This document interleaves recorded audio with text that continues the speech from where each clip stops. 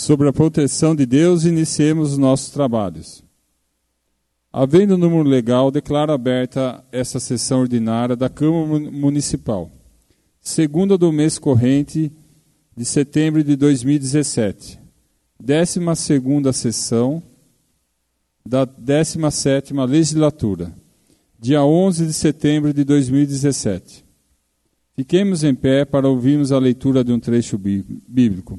Convido o vereador Cleito da Luz Escudeler que proceda à leitura.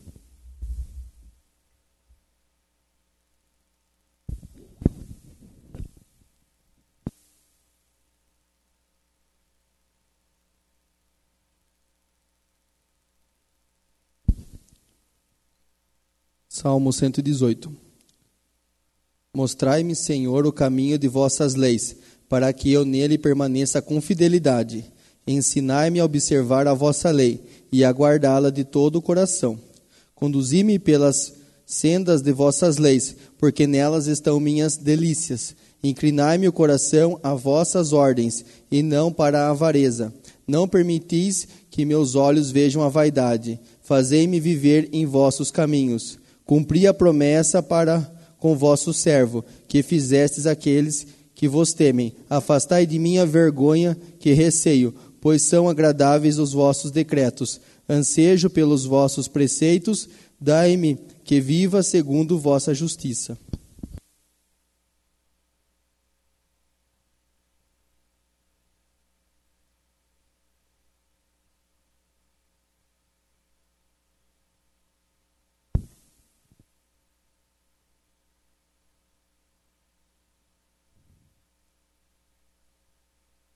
Solicito ao vereador Sérgio Luiz Bueno, primeiro secretário da mesa, que proceda à leitura das matérias do expediente.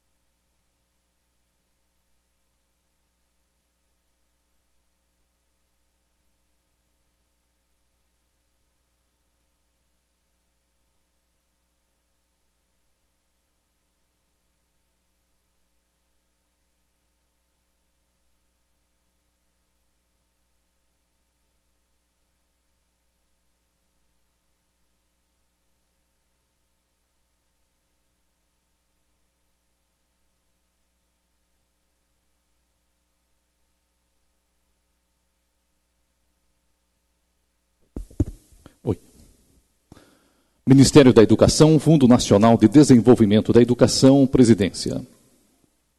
De acordo com a legislação vigente, informamos as liberações de recursos financeiros destinados a garantir a execução de programas do Fundo Nacional de Desenvolvimento da Educação, conforme abaixo. PDDE, professora Noêmia Souto Madeira, valor 2.360.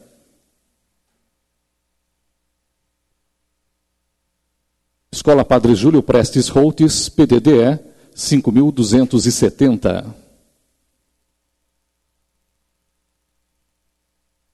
Associação de Pais e Mestres da EMEI, Davina Moreira, PDDE, 1.670. APM da EMEI Integral, Ondina Módulo Doriguelo, valor 2.350. APM da Escola Luísa Elisa Gaioto Corrade, 4.540. APM da Escola Yolanda Biagione Camargo, 4.520. APM da Escola Professora Adelaide Tosi, 3.680. APM da Escola Integral Padre Arthur Silveira, 2190. APM da professora Vicentina Salvador Reginato, 2220. EMEB, EMEB José Bep Módulo, 4990. Escola Lavínia Rodrigues Sanson, 4.390. Escola Professora Marina Bordenali Piloto Gaioto, 6.100. EMEI Integral Vera Albertina Aldi de Almeida, 2.270. Associação de Pais e Mestres da EMEI Monteiro Lobato, 2.300. Ofício 258-2017 do Gabinete. Senhor Presidente, tenho a honra de solicitar a Vossa Excelência a retirada do projeto de lei complementar 16-2017, encaminhado anteriormente a esta Casa de Leis para deliberação. Sem mais para o momento, aproveitamos a oportunidade para renovar os nossos protestos de elevada estima e distinta consideração. Aldomir José Sanson, prefeito municipal. Moção número 17, 2017. Apresento à mesa na forma regimental a presente moção de aplausos ao senhor Clóvis Teodoro de Oliveira, pelos 33 anos de trabalho como relojoeiro em nosso município. Seu Clóvis nasceu em 26 de agosto de 1959. É natural de Paranapanema, estado de São Paulo. Filho de Sebastião Teodoro de Oliveira e Luzia Lopes Oliveira, ambos já falecidos. Em 1977, aos 18 anos, Clóvis foi trabalhar como funcionário em uma relojoaria em Paranapanema. Lá aprendeu o ofício. Trabalhou por seis meses, porém desanimou com o ofício e assim o deixou de lado. Em 1983, se mudou para Tatuí e começou a trabalhar na empresa Ninho Verde, na cidade de Tietê. Em 1984, foi demitido e recebeu a quantia de 400 mil cruzeiros como indenização trabalhista. Naquela época, o dono da relojoaria, que hoje é de propriedade do senhor Clóvis, era Laerte Guilis de Matias, que ficou sabendo que Clóvis já havia trabalhado com esse ofício e, como queria se mudar para o Paraná, ofereceu sua relojoaria localizada na rua Cunha Bueno, número 19, ao senhor Clóvis, pelos mesmos 400 mil cruzeiros. É viúvo de Aparecida Antunes de Oliveira, tem dois filhos, é, Ismael Antunes de Oliveira, hoje com 39 anos, e Mariana Antunes de Oliveira, com 31 anos. Até hoje, seu Clóvis atende seu público fiel no mesmo endereço. Seu alvará de prefeitura é de 1985, porém, ele iniciou no local no ano de 1984. São 33 anos servindo a população de nossa cidade no mesmo endereço. Seu Clóvis é um profissional que ama o que faz e atende cada cliente sempre com muito carinho e atenção. Sua relojoaria vive lotada. É comum passarmos pela rua e nos depararmos com a fila do lado de fora, esperando por um concerto ou pela simples troca de uma bateria. Cleiton da Luz Escudeler, vereador. Moção 19, 2017. Apresento à mesa na forma regimental a presente moção de aplausos ao Conselho Tutelar de Serquilho, em reconhecimento ao excelente trabalho desenvolvido em nossa cidade. A função do conselheiro tutelar é zelar para que crianças e adolescentes tenham seus direitos garantidos, cumpridos e devidamente assistidos por quem tem a obrigação legal para isso. Em nossa cidade, o conselho tutelar é formado por cinco conselheiras: Elaine Oliveira, Raquel Dias, Bruna Rossi, Marli de Fátima Armani e Angélica Sueli Malavasi. Essas mulheres foram eleitas pela nossa sociedade e merecem todo o nosso reconhecimento pelos relevantes serviços que prestam, sempre com empenho e dedicação. Nossas conselheiras não se amedrontam diante das dificuldades que enfrentam no dia a dia, são plenamente atuantes. Essa homenagem é fruto do reconhecimento desta Casa de Leis em valorizar o empenho e dedicação dessas profissionais. Que se dê ciência desta moção às interessadas. Antônio Gabriel Luvisoto, vereador. É, Gabriel, é, eu peço para você para me assinar essa moção aí, porque a minha filha é conselheira. Você não me convidou, mas estou me oferecendo. tá? Quero assinar junto com você. Muito Boa obrigado. Noite. Com toda certeza. É, se todos os nobres vereadores quiserem assinar em conjunto, ela vai ser lida hoje, é, votada hoje, mas vai ser entregue só na próxima sessão. Fica o convite para todos. Gostaria de assinar com você também, Gabriel. Sim. E parabenizar você pela moção. Igualmente, parabéns pela moção e obrigado pelo convite. Eu gostaria de assinar também. Tudo bem. Obrigado. Eu Todos também. estão convidados e no final da sessão. Muito obrigado. Coloco a palavra à disposição dos senhores vereadores inscritos. Solicito ao vereador Luciano Gava, segundo secretário, que co controle o tempo regimental de 15 minutos para cada vereador, em conformidade com o artigo 123, inciso 1 do Regimento Interno. Boa noite a todos. Chamo para fazer uso da tribuna o nobre vereador José Carlos Rodrigues Medeiros.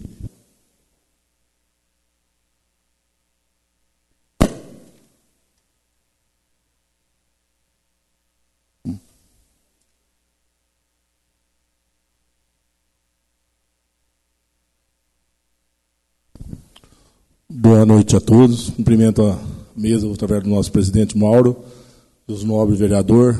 Também quero agradecer a, nossa, a presença do nosso amigo aí, Ramiro, prefeitão, prefeito de, de pulso firme, de qualidade. Fez Cesar Lange hoje uma cidade muito legal, muito bacana. Parabéns, prefeito. Isso que é ser prefeito.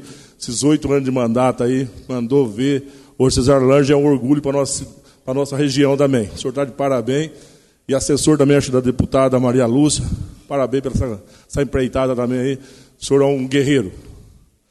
Ele me trouxe até essa tribuna aí. Vou falar um pouquinho de esporte, né?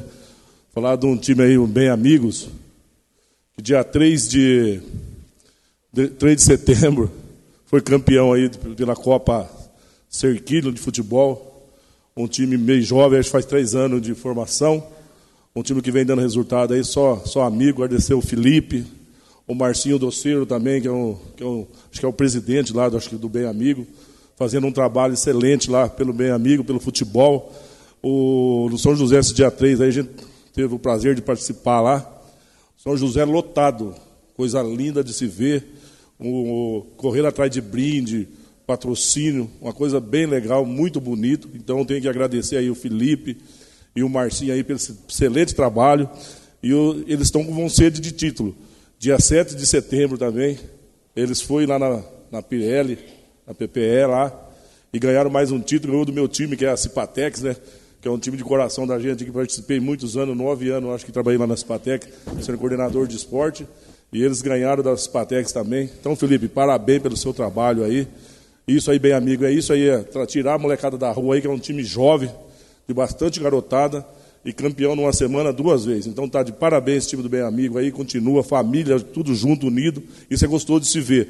Isso aí a gente tinha há muitos anos atrás aí, como quando chegamos em Cerquilho aí, nós tínhamos um time chamado Caloré, que é a cidadezinha da gente lá, um time que foi de laçador também, ganhamos acho que três campeonatos em seguida aí. A Creuza, a vereadora aí, era presidente desse time aí, esse time só trazia alegria, lotava os estádios aí, e está voltando isso de novo, então isso é muito bom.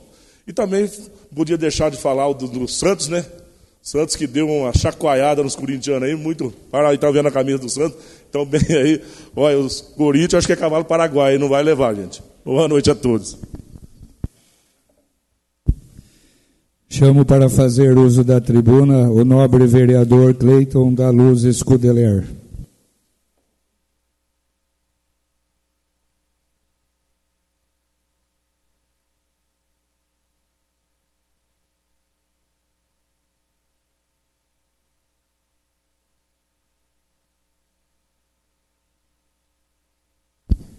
Boa noite, mesa. Boa noite a todos. Boa noite, eu sempre prefeito Ramiro. Quantas vezes liguei na prefeitura, encheu o saco do Ramiro lá em Cesaro Lange, antes de ser vereador, ia prestigiar o aniversário da cidade, né, todos os anos lá. É, o que me traz à tribuna são alguns assuntos. É, queria falar sobre o cidadão online, que a prefeitura já está disponível no site da prefeitura, inclusive para baixar como aplicativo, onde a população vai poder fazer algumas solicitações, como, como poda de árvore, o tapa-buraco e recolhimento de entulho. Tudo online para que se agilize, né, se omitize o trabalho. Né? Isso é modelo de gestão do prefeito Aldo. E também a pessoa pode enviar a foto também no aplicativo, isso vai ajudar. É, queria agradecer a presença do seu Clóvis. Eu fui até a loja dele, pedi se ele aceitava essa, essa homenagem. Faz um tempo já que eu queria fazer isso para o senhor. Né? Sou velho cliente do senhor, sempre levei relógio para o senhor lá arrumar. E eu queria achar um jeito de homenagear o senhor, porque 33 anos na mesma profissão é fazer realmente o que gosta. E, e o senhor mostra isso no seu atendimento lá, no seu lugarzinho. Está de parabéns Deus abençoe o senhor muitos anos mais, que o senhor né, faça que o remédio que o senhor gosta. E obrigado por ter aceitado essa homenagem feita por mim. Falar também do sucesso do 7 de setembro, né, do que o prefeito fez juntamente com a Secretaria da Educação, desculpa, Secretaria de Esportes, que foi muito bom lá na, na Praça da Matriz. Muita gente, eu calculo que tinha mais de mil pessoas, muitas crianças brincando, fazer um, um feriado diferente. E a corrida que eu com o Mauro e o Sérgio participamos, quase morremos para participar dos 3 quilômetros. Foi muito legal, a gente participou. A gente foi os últimos a se inscrever e foi os últimos a chegar também. Chegamos tudo junto. Né? Mas isso é o que vale é participar, né? E também eu queria falar que eu mandei alguns ofícios para alguns clubes do Brasil. Aliás, estado de São Paulo, o Corinthians, o Palmeiras, o Santos e o São Paulo pedindo uma camisa oficial autografada para que eu pudesse doar para as entidades. Como o Santos já me mandou a camisa, que está aqui, ó, eu vou revelar a entidade, vai ser a Santa Casa que vai receber para ela poder fazer uma rifa. Então eu vou doar essa camisa autografada oficial para a Santa Casa, né, para o presidente, para que ele possa fazer uma rifa. É um jeito que eu encontrei para ajudar a entidade no momento como esse, que é um momento de retrocesso de recolhimento, um momento ruim para arrecadação. Eu acho assim, que ao invés da gente ficar criticando, falando mal, colocando pessoas contra outras pessoas, é arregaçar as mangas, é fazer trabalho, é umetizar, é gestão, é trabalho, parar de picuinha, porque picuinha não é trabalho. Se a gente perder tempo com picuinha, a gente não vai trabalhar pela população, vai perder o mandato fazendo picuinha. Isso, a gente não foi eleito para ficar fazendo picuinha, a gente foi eleito para trabalhar para o povo. E eu acredito que essas pequenas coisas transformam em outras coisas maiores. Né? Agradeço às pessoas que nos têm ajudado, né, a força que a gente recebe, mas é o recado que eu quero dar. Acabar com essas picuinhas, porque picuinha e botar os outros contra os outros não está certo. Isso aí só vai atrasar a população, porque não é puxar saco da tua gestão, é simplesmente abraçar cerquilho. Nós somos eleitos para cerquilho e não por partido. O partido, a gente foi eleito sim, mas agora o partido cerquilho. Parar de ficar com picuinha. Está dado o recado. Boa noite. Nobre vereador, uma parte, por favor. Na ausência do nobre vereador, pediria ao presidente dessa casa que lesse os cartazes, já que eu não estou inscrito na tribuna, em respeito a, aos professores presentes. No momento oportuno eu vou ler. Obrigado, presidente. Na ordem do dia, verifico a presença Senhor presidente, não há mais nenhum vereador inscrito. Ordem do dia. Verifico a presença da totalidade dos membros da Câmara. 12 sessão da 17 legislatura, dia 11 de setembro de 2017. Esclareça aos novos vereadores que a cópia da ata da sessão anterior encontra-se à disposição na Secretaria da Câmara. Passemos à deliberação das matérias. Moção número 17, 2017. Apresento à mesa, na forma regimental, a presente moção de aplausos ao senhor Clóvis Teodoro de Oliveira pelos 33 anos de trabalho como relojoeiro em nosso município. Em discussão? Em votação. Os favoráveis permaneçam sentados e os contrários que se levantem. Aprovado por unanimidade. Moção número 19, 2017. Apresento à mesa na forma regimental a presente moção de aplausos ao Conselho Tutelar de Cerquilho, em reconhecimento ao excelente trabalho desenvolvido em nossa cidade. Em discussão? Em votação. Os favoráveis permaneçam sentados e os contrários que se levantem. Aprovado por unanimidade. Leitura do parecer da assessoria jurídica sobre o projeto de lei complementar número 15 de 2017.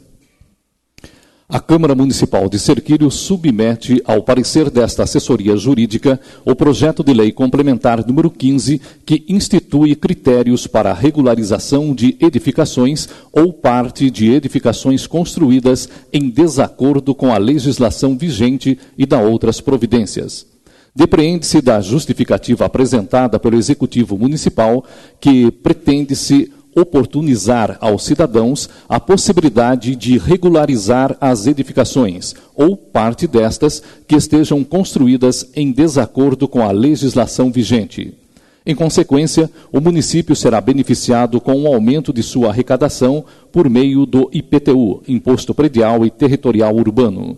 Sem sombra de dúvidas, trata-se de matéria de iniciativa privativa do Executivo Municipal, uma vez que é o poder público municipal o responsável pela promoção do adequado ordenamento territorial, mediante planejamento e controle do uso, do parcelamento e da ocupação do solo urbano, bem como pela execução da política de desenvolvimento urbano, nos termos dos artigos 30, inciso 8 e 182, caput e parágrafo 1 ambos da Constituição Federal. Temos ainda na mesma Carta Magna, em seu artigo 30, inciso 3, que compete aos municípios instituir e arrecadar tributos de sua competência Cabe ao administrador público identificar as medidas administrativas necessárias para efetivar a arrecadação e o recolhimento correto dos seus créditos junto a terceiros, conforme preceitua o artigo 3, inciso 2 da Lei Orgânica Municipal. Artigo 3. O município tem como competência privativa legislar sobre assuntos de interesse local, cabendo-lhe, entre outras, as seguintes atribuições: 2 instituir e arrecadar os tributos de sua competência, bem como aplicar suas rendas sem prejuízo da obrigatoriedade de prestar contas e publicar balancetes nos prazos fixados em lei. Por fim, acerca da responsabilidade do administrador pelo equilíbrio das contas públicas, apresentamos o artigo 11 da Lei de Responsabilidade Fiscal. Artigo 11 constituem requisitos essenciais da responsabilidade na gestão fiscal a instituição, previsão e efetiva arrecadação de todos os tributos da competência constitucional do ente da federação.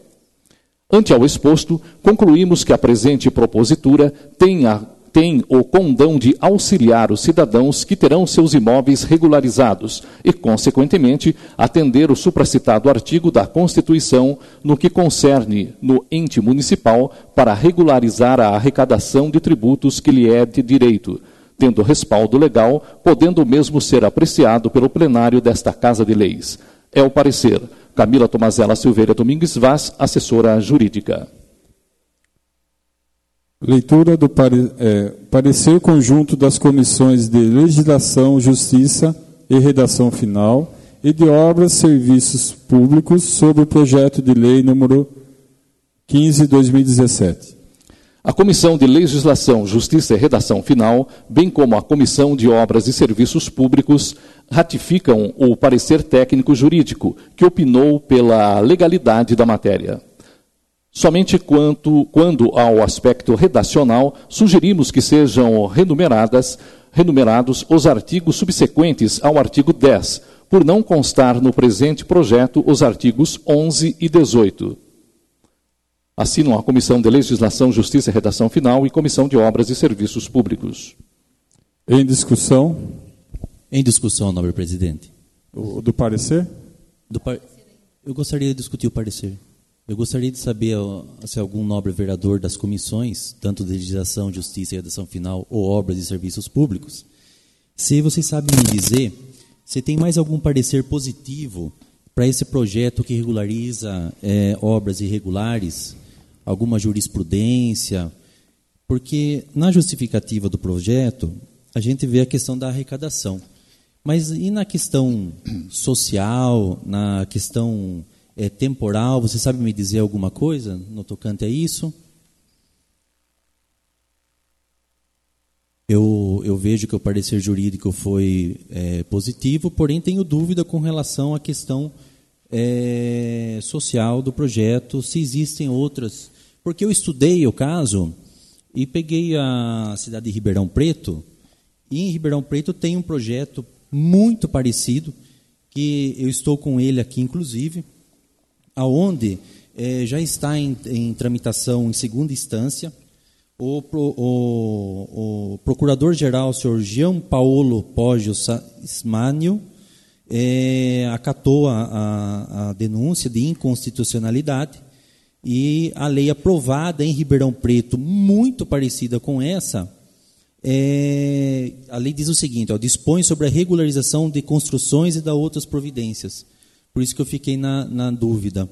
Outra coisa que eu queria é, perguntar para algum dos membros da comissão é quantas edificações irregulares nós temos em nosso município e quantas são de proprietários de baixa renda?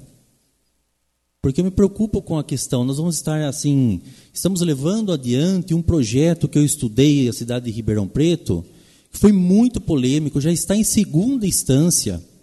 E, e é um projeto muito, muito similar a esse.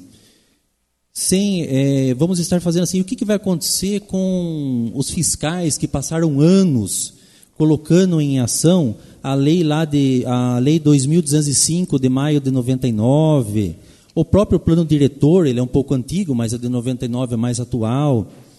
Como que vai fazer com esses fiscais que ordenaram a, as construções em nosso município? Ficaram ali, o que vamos fazer com todas as pessoas que foram multadas? E o que vamos fazer ainda com as construções de pessoas que podem ter agido de má fé, né, driblando a fiscalização do município, respaldada naquela legislação? Eu, eu fiquei muito preocupada, inclusive várias é, associações, fórum de, fórum de entidades, é, falaram que é incentivo de, a quem faz coisa errada. Né? Estou aqui também com a cópia que concede a liminar para suspender a eficácia da lei. Né? Está aqui comigo também. É muito criticada ali pelas consequências, porque ela até tem o pedido de eh, de liminar, né, ela estava, ela foi aprovada na Casa de Leis de Ribeirão Preto. Então eu estou muito preocupado, sabe? Eu queria ajudar e quero ajudar aquela pessoa. É, eu acho que devemos ajudar aquela família que precisou fazer uma construção a mais para fazer um cômodo ou dois, que uma, o filho casou.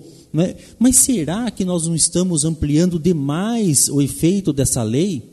para regularizar aí é, construtores que acabaram adquirindo casas de pessoas simples, que agora precisam regularizar um, um, um projeto.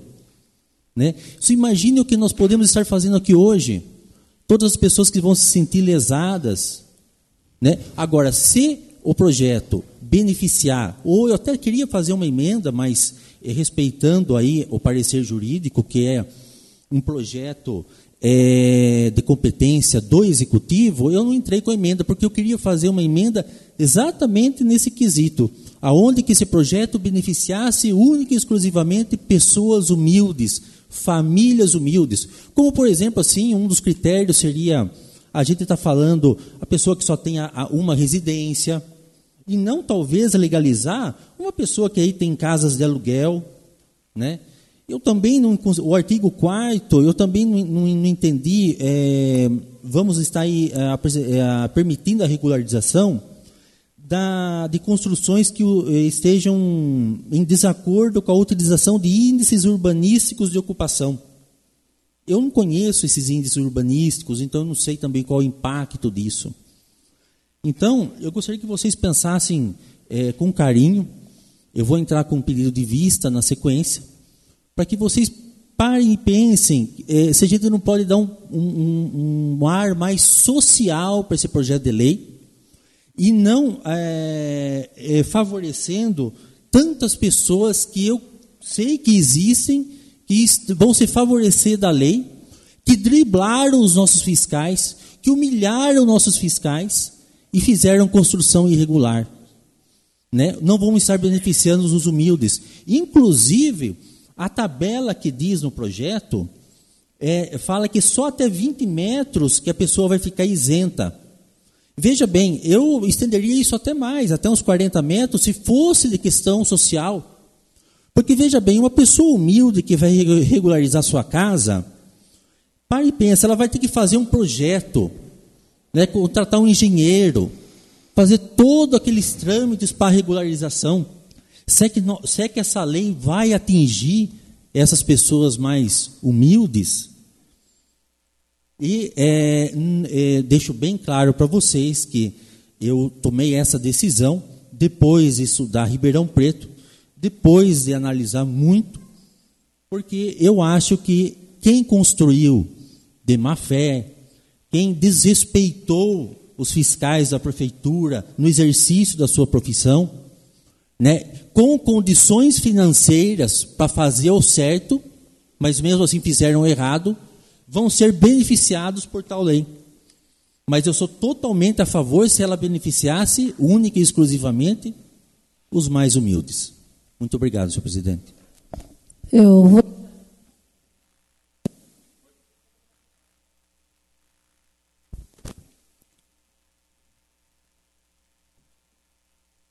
Em votação. Os favoráveis permaneçam sentados e os contrários que se levantem. Aprovado por unanimidade. Projeto de Lei Complementar número 15, 2017. Institui critérios para a regularização de edificações ou parte de edificações construídas em desacordo com a legislação vigente e da outras providências. Em discussão. Eu não concordo com o nobre colega disse. Eu, eu lutei quatro anos para que esse projeto viesse para a Câmara, como vereadora. Eu acho que isso a gente vê que vai beneficiar muitas pessoas. Então, eu acho assim, eu queria parabenizar o prefeito pela atitude, por estar mandando esse projeto para a Câmara. É um projeto que, nossa, quando chegou aqui, até cobrei do presidente, não vai pôr esse projeto em votação logo, porque muitas pessoas, a gente percebe que casas antigas, que pessoas que morreram os pais querem fazer o inventário e não conseguem fazer o inventário antes dessa lei. Então, a partir dessa lei aprovada aqui na Câmara, eu acho que vai beneficiar muitas pessoas, inclusive essas pessoas de baixa renda, como diz o nosso colega, é os principais que vai ser beneficiado, esses que não tiveram condições de fazer uma planta normal do tamanho da casa. Então, eu sou favorável, quero parabenizar o prefeito por essa atitude, que estou lutando por esse projeto aqui na Câmara já faz quatro anos. Em discussão? Eu reafirmo que parabenizo o executivo pelo projeto. Se a intenção é essa, eu concordo. Porém, o projeto ele não delimita, por exemplo, assim, ó, as construções realizadas até hoje, por exemplo, essas poderão ser é, regularizadas. Não tem uma delimitação temporal. Então, é, então peço desculpa. Eu não, não, me recordei dos 180 dias. Bom, mas é, mesmo assim, é, a questão que eu coloco, não, não sou contra o projeto, eu queria só melhorar o projeto do ponto de vista social. Vou deixar claro isso, melhorar o projeto do ponto de vista social. Baseado também na Lei 10.257, no seu artigo 2 que na verdade é a, a, a lei que faz sobre política urbana, onde fala que a gestão democrática por meio da participação da população, associações, é, ou seja, aqui dando, fazendo uma chamada para audiência pública. Então, eu faço, eu, eu quero deixar claro que eu acho que esse projeto poderia ser melhorado, e eu acho que é importante assim, é, eu, eu pedirei a vista para vocês só analisarem mais uma semana e ver Se não tem, como depois posso vir aqui na Câmara Municipal com vocês, a gente estuda novamente o que aconteceu em Ribeirão Preto, e eu teria o maior prazer, então, de, de, de voltar atrás, no caso, se a gente poder melhorar isso, né, e não cometer o mesmo erro que Ribeirão Preto fez, entendeu? É, eu, eu concluo a minha fala. Obrigado, senhor presidente. Eu peço é, vista. Né, em discussão. Eu e a Creuza e o nobre vereador Crodão, a gente faz parte dessa comissão. A gente veio em duas, duas reuniões aqui. E a gente também acha, igual eu falei para o Crodão, eu falei para a Creuza, eu acho que estava na hora de começar a regularizar essas casas, porque é muita casa irregular. E, e assim, eu acho que o fiscal, igual ele falou dos fiscal, o fiscal vai lá, faz muita vista grossa também, muita vez no trabalho deles, meio, meio querendo também ficar com a bunda sentada também na cadeira, e não corre muito atrás também de ver quando está fazendo os projetos, depois que foi, aí não tem o que fazer mais. Eu vejo loteamento aí que você não consegue ligar uma água porque é irregular. Então acho que a coisa tem que regularizar mesmo, eu acho que concordo com a Cris aqui, é igual ela falou que está quatro anos querendo fazer esse projeto, esse projeto chegou, eu acho que é a hora de nós começar a regularizar as coisas erradas, porque a gente vai ver a vida inteira no erro. Então está na hora, eu acho que agora é a hora, e concordo com você, Creuza. Então, vereador, desculpe Obrigado. continuar na, na, na, discussão, mas eu acho que é, é, é salutar. Olha, é, mais uma vez, a minha intenção aqui é melhorar o projeto. Né? Veja que a, a, a Ribeirão Preto, estou aqui com o projeto na, com o, o coisa na íntegra, aonde é uma ação direta de inconstitucionalidade aceitada em segunda instância. Sabe é, por que nós vamos votar uma isso? Parte. Nobre presidente, vamos acelerar a votação, porque um concorda, outro não concorda, e fica aquela discussão. Se o senhor está contrário, pede vispa ou votar contra. Por favor, presidente. É, por favor, a palavra. Eu acho que o primeiro que tem que regularizar são os fiscais. Porque se o projeto está aí, se isso aí já faz não sei quantos anos, e os fiscais não tomam conta, não está tá com a bunda sentada na cadeira lá, pô, tira esses caras daí, pô. Não tem ninguém que olha isso aí lá dentro da prefeitura? Pelo amor de Deus. Cabe nós. Tá certo? Eu acho que tem que começar por ali. Porque, caso contrário, não vai resolver nada isso aí, não. É... Você está entendendo?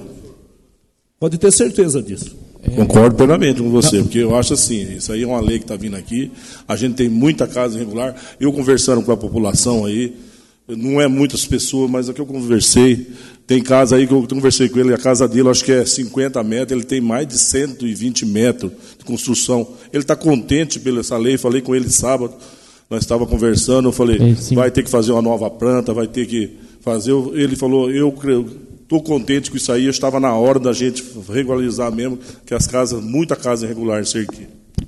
É. Olha, o que, é, o que é, é, certo é certo. O vereador Tércio, é, eu vou só fazer uma coisa agora com o vereador José Carlos também.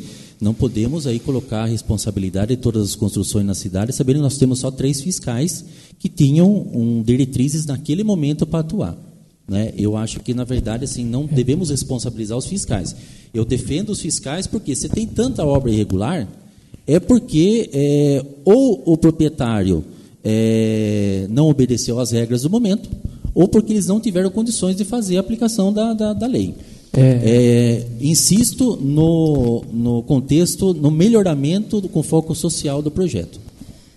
É, eu acho assim, senhor presidente, esse projeto, além de tudo, ele é uma forma de a prefeitura arrecadar mais, porque vai ser cobrado IPTU desse, dessas casas que foram aumentadas. E até então elas não estão regularizadas. Então hoje, se tem uma casa de 50 metros, você está pagando IPTU de 50 metros. A partir do momento que seja esse votado seja aprovado, você vai pagar IPTU de 100 metros. Então eu acho que essa atitude do prefeito é correta. E eu, como fazendo parte da comissão, eu acho assim, a gente tem uma assessora jurídica e a gente está acompanhando o parecer da, da assessoria jurídica. Com certeza. Mas eu quero deixar claro assim que você não pode regularizar o ilícito através de, de, de, compensação financeira. Se a pessoa praticou o ilícito e ela não tem perfil social, ou seja, mesmo assim ela, ela foi contra as normas e as regras da lei atual, você agora anistiar essa pessoa com poder financeiro, isso, aquilo, eu acho isso é, inadmissível. É uma eu... parte. Teve uma, uma lei aqui que entrou na, o parecer foi votado o parecer que ela era inconstitucionalidade, né? E teve os vereadores que teimaram, teimaram, teimaram que era constitucional. Eu estou vendo aqui que uns dizem que é constitucional, outro não. Então vamos decidir logo se é constitucional ou não. Pelo parecer é constitucional. E presidente, por favor, vamos. Nobre É. vereador Gabriel, insisto que a minha posição é para o melhoramento com foco social do projeto. Com certeza. Por favor, presidente. Em discussão. É, eu fui procurado por vários engenheiros até essa lei perguntando se tinha sido votada porque está cheio de pessoas querendo regularizar. Quero parabenizar o prefeito porque ele está fazendo o melhor para a cidade e eu acredito no trabalho dele. Comigo também aconteceu isso. É, eu queria saber uma Comigo coisa. também aconteceu isso. E sou totalmente a, favor, inclusive, até de não cobrar nada da regularização de uma obra de uma pessoa de uma família carente. Re- reforço, sou a favor de votar um projeto de lei aqui que, inclusive, eu não estou entendendo, não estou entendendo Não, sua posição. inclusive é o seguinte, ó, hoje, para regularizar a obra, acima de 20 metros quadrados, você vai ter uma taxa. Ah. Né? Se fosse uma pessoa humilde, eu acho que essa taxa poderia ser abolida. Então, Se for uma pessoa com critério social, poderia ser abolida. É isso que eu quero dizer. Eu acho que a pessoa humilde, a pessoa que tem perfil social, precisa ser amparada. E eu fui procurado também por várias pessoas nesse sentido. Mas eh, mudou já o tom do, do assunto. Concordo com o Não, mudei não. Desde o início, Gabriel, estou falando a mesma coisa. Melhoramento do projeto com caráter com- para unir para a questão social. A minha preocupação é você, é, nós passarmos um projeto do mesmo jeito que foi Ribeirão Preto e acabar beneficiando pessoas que foram contra a lei. Presidente, por favor, vamos Quem, agilizar, porque quem tem já mais político já. quem tem mais de um imóvel também vai ser beneficiado, né? Todos vão ser beneficiados, né?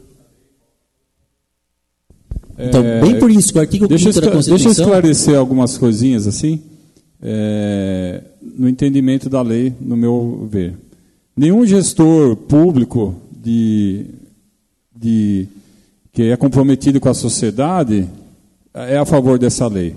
Na realidade, essa lei vem, ela vem reparar algumas coisas aconteceram em gestões passadas, que não vale aqui a gente levantar, e que tem que ser regularizado por vários motivos que foi apresentado no- na, na justificativa dele e que con- consta no projeto.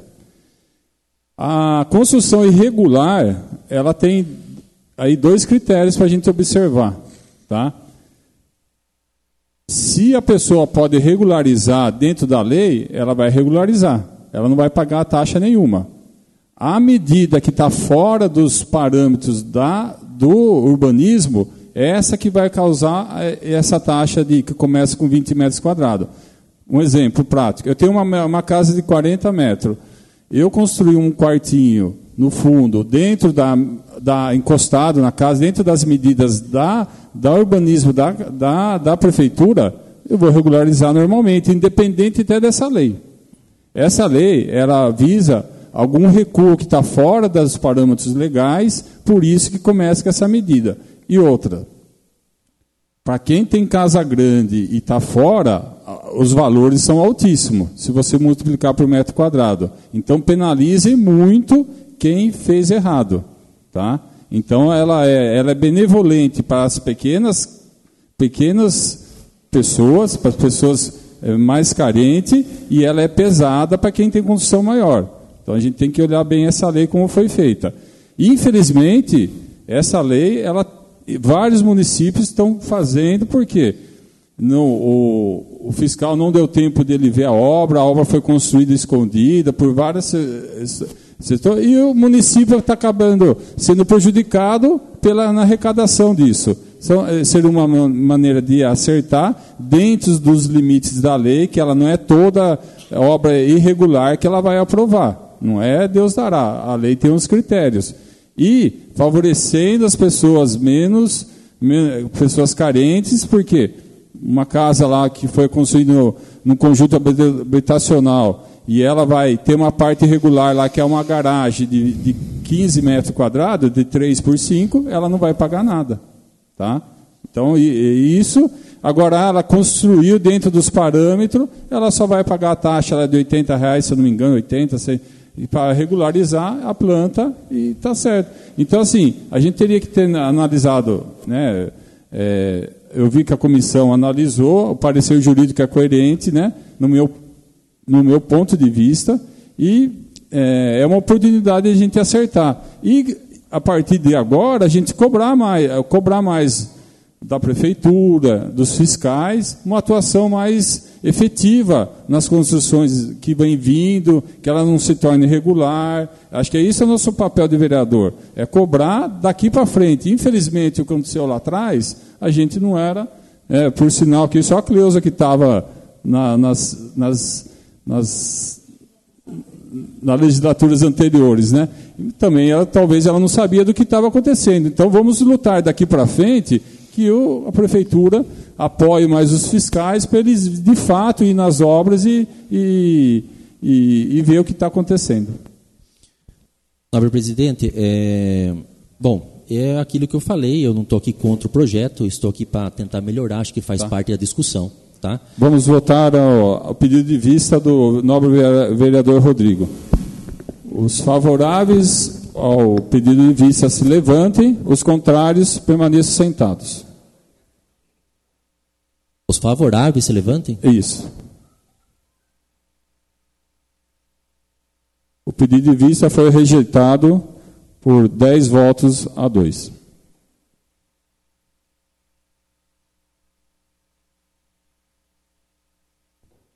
Em votação, em votação, os favoráveis permaneçam sentados e os contrários que se levantem. O projeto de lei complementar número 15 de 2017 foi aprovado por 10 votos a 2 e 2 rejeitados.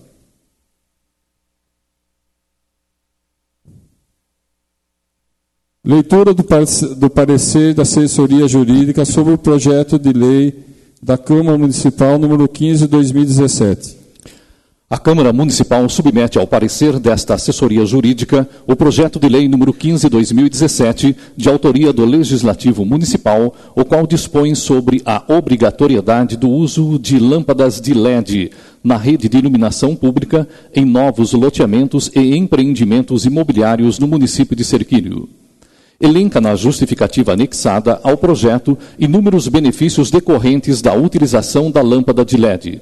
Pois bem, é sabido que a Constituição Federal delega aos municípios a competência para legislar sobre assuntos de interesse local e para suplementar a legislação federal e estadual, no que couber conforme incisos 1 e 2 do artigo 30 da referida Carta Magna.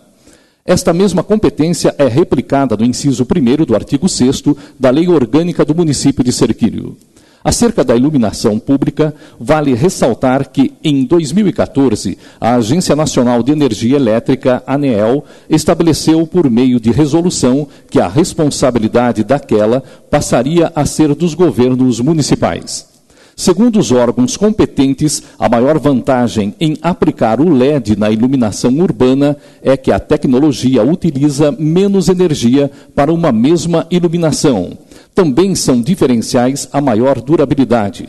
O fato de que não contém mercúrio e tem alto índice de reprodução de cores, o que possibilita uma acentuada melhora na percepção de elementos que integram a paisagem urbana. A iluminação, além de energeticamente mais eficiente, é mais integrada aos espaços urbanos. Outra vantagem para o poder público é que, por causa de sua vida longa útil, essas lâmpadas evitam interrupções do serviço, prejuízos e substituições constantes, gerando economia expressiva na manutenção. Portanto, em tempos de crise econômica e escassez de recursos, é preciso pensar em alternativas eficientes a longo prazo, que auxiliem os governos na tarefa de gastar menos e que sejam benéficas ao meio ambiente. Desta forma, considerando que o presente projeto venha a colaborar com o governo municipal no que tange a sua responsabilidade com a iluminação pública e pautados na legislação citada, entendemos que o projeto em análise pode ser apreciado pelo plenário desta Casa de Leis. É o parecer Camila Tomazella Silveira Domingues Vaz, assessora jurídica. Parecer da Comissão de Legislação, Justiça e Redação Final sobre o projeto de lei da Câmara Municipal número 15 de 2017. Nos foi encaminhado para análise o projeto de lei em epígrafe de iniciativa parlamentar, além das considerações constantes no parecer técnico jurídico, o qual culmina com o entendimento de que a matéria reúne condições necessárias e legais para validamente prosperar, ao qual ratificamos. Temos apenas a destacar que as justificativas que acompanham o projeto são bastante elucidativas, sendo que o uso da tecnologia de diodos emissores de luz se traduz em durabilidade e economia, além de causar menos, menor impacto ao meio ambiente. Diante do exposto, somos favoráveis à aprovação do projeto de lei número 15 de 31 de junho de 2017. Em discussão? Em votação.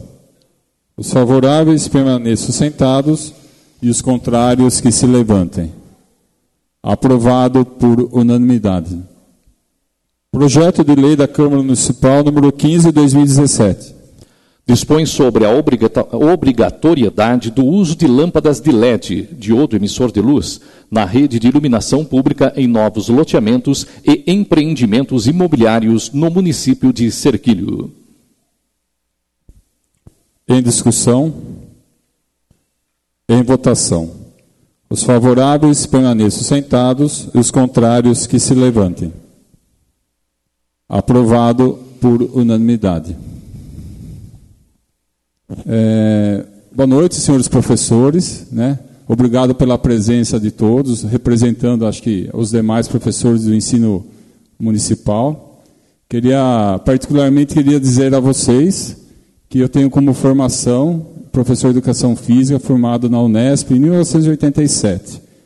E por 10 anos eu exerci essa profissão aqui em Serquilho, tanto no ensino estadual como no ensino municipal. Então eu sei da, da luta que é do dia a dia do professor e o qual eu respeito e valorizo muito. Além disso, eu tenho uma irmã que é professora, minha filha é professora, minha cunhada é professora. Então sempre estamos discutindo assuntos relacionados ao ensino, principalmente ensino fundamental e ensino médio. Então eu sei da luta de cada um de vocês, sabemos dessa luta, sabemos que o professor precisa ser valorizado. Então conte com a gente, conte com a Câmara Municipal, que a gente puder ajudar, a gente vai estar aberto para, para receber vocês. Muito obrigado e sempre apareça aqui. Essa manifestação é uma, é uma, mostra que a nossa democracia, tá? Conte com a gente. Muito obrigado pela presença de todos. Nesse momento, faremos a entrega da moção número 17, 2017. Chamo ao plenário para receber a moção o senhor Clóvis Teodoro de Oliveira. Chamo o vereador Cleito para que faça a entrega.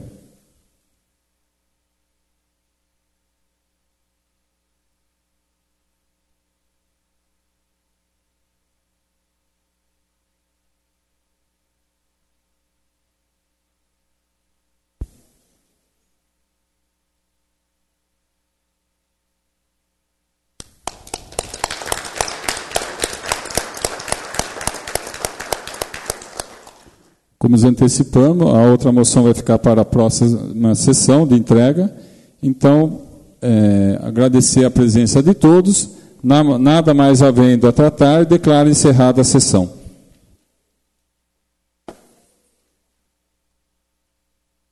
Certo.